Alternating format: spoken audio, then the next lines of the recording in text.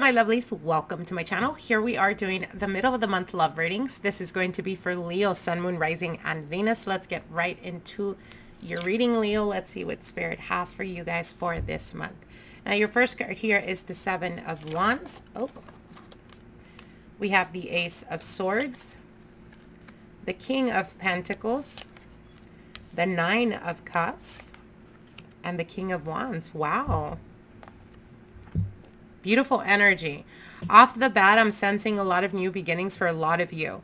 For some of you, you may be dealing with an earth sign, Taurus, Capricorn, Virgo. For others, you may be dealing with another fire energy, um, Sagittarius, Aries, or Leo. Now, what they're showing me here is you're currently experiencing like being extremely focused. I see you guys really aiming high, going towards your goals, going towards your aspirations, and also really understanding the lessons that you've gone through when we're talking about partnerships and relationships. The Seven of Wands indicates to me knowing your power, knowing what you deserve and not settling for anything less than that. And I applaud you, Leo, because this is a very empowering type of energy here. Now, the Ace of Swords indicates to me communication that will be opening up or that you will be dealing with a new person um, for a lot of you guys, this is new energy that's coming through, whether it's an earth sign or another fire energy.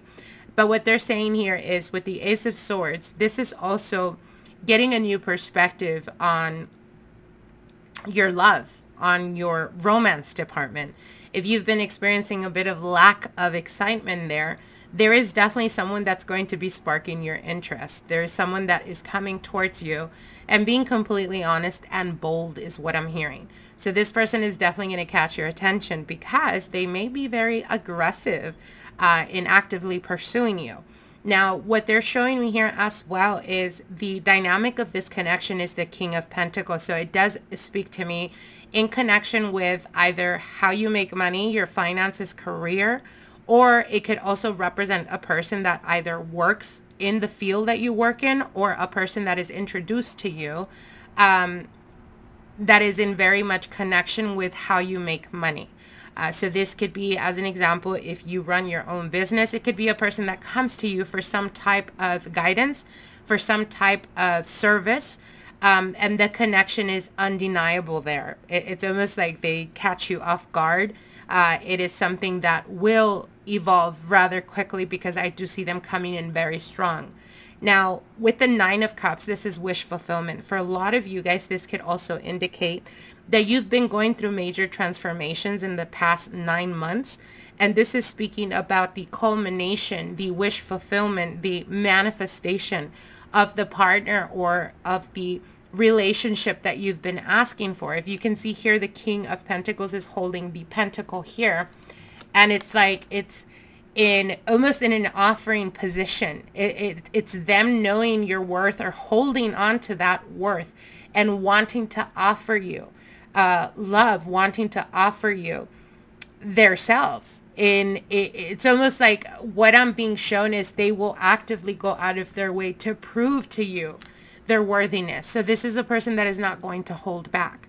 Now, if in the past you were dealing with an earth energy or an air energy, Aquarius, Gemini, Libra, I feel that for for the past couple of weeks, you could have been either dealing with them or sensing their energy or even dreaming about them. Um, and it's almost, like I said, it's a culmination of an ending cycle of having no prosperity or like being completely laser focused in your goals that you kind of distracted yourself from that of, you know, nurturing your romantic side. But I feel that that's coming quickly to an end where this connection is going to flourish and it's going to flourish very quickly because it is a wish fulfillment after all with the nine of cups here. Now, what they're also showing me, um, the likely outcome here is a connection where and I want I do want to mention for some of you guys, it could be a Capricorn that's coming towards you.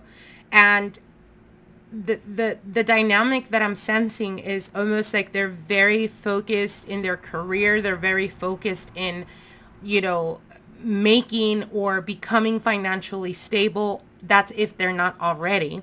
Um, because I see this person that is very mature. This is a person that is you know, they've accomplished a lot of their goals and at this point in their life, they're ready to share that with a partner. That's the only thing that's lacking in their life, which is love. And I feel that you've been vibrating from that energy of being laser focused and really working on yourself and your self improvement. And I feel that this person that's coming in is already that. So it's almost like you guys are meeting at the perfect time. It's it's it's a perfect beautiful harmony and balance that I'm sensing for a lot of you.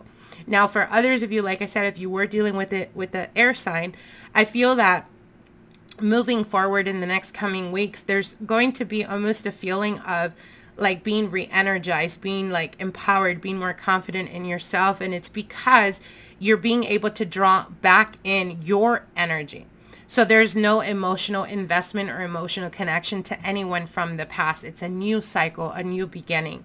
And they want you to acknowledge that. So I definitely do see here a lot of momentum in regards to wish fulfillment for you Leos out there. So definitely put your manifestations out there because you're definitely drawing in uh, that partner that is strong, that partner that knows exactly what it is that they want. They're protective in a very balanced way. Um, and it's almost like they have everything that they would consider like they've accomplished and now they're at a point where they acknowledge that they're ready for a partner to share that life you know to, to make them feel like they're balanced like they're fully fulfilled so again this is it's not an energy of indecisiveness it's not an energy of let's see where things go this is something that is going to manifest into something long term so very beautiful reading, Leo. I wish you guys the very best and we'll see each other soon. Bye.